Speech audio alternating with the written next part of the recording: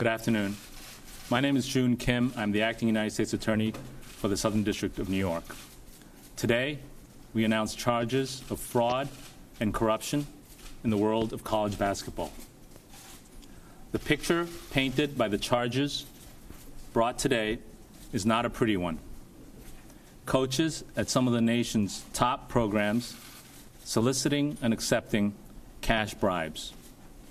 Managers and financial advisors circling blue chip prospects like coyotes.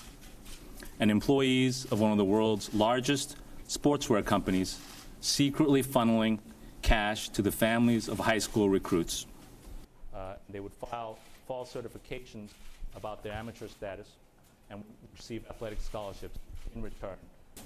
College coaches took cash bribes from managers and advisors in exchange for directing players and their families to those bribers.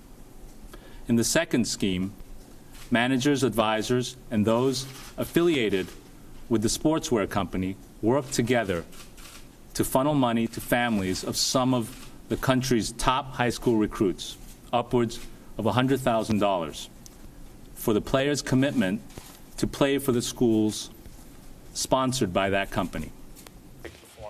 So this one shows the coaches. This is the alleged coaches bribery screen.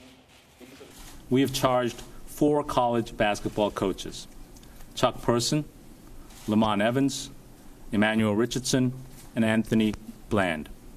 They are all associate or assistant coaches at major Division One schools with top-tier basketball programs. These are the managers and advisors who paid the bribes to these coaches, who in turn pressured players uh, to go Uh, to use these managers once they turned pro. In exchange for bribes ranging from $13,000 to almost $100,000 each, these coaches allegedly pushed particular managers and advisors on the players and their families. And certain of the coaches arranged for separate payments to be made to the families as well. Anthony Bland described what he could do for the managers and advisors this way quote, I can definitely mold the players and put them in the lap of you guys.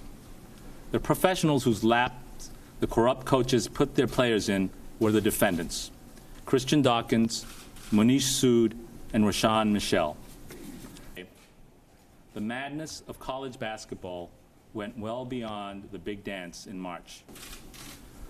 While pushing these professionals, the bribe coaches showed little regard for the players' well being. They ignored red flags, seeing only the green of the cash bribes flowing their way. For example, in steering players to, to a financial advisor who it turned out was actually cooperating with the government, most of the coaches never asked the advisor a single question about his qualifications his track record in handling players' money, or really anything else about his business. A simple Google search by the coaches of the advisor's name would have revealed that the SEC had brought securities fraud charges against him just last year, including for misusing his professional athlete clients' money. Month. The defendants exploited the hoop dreams of student athletes around the country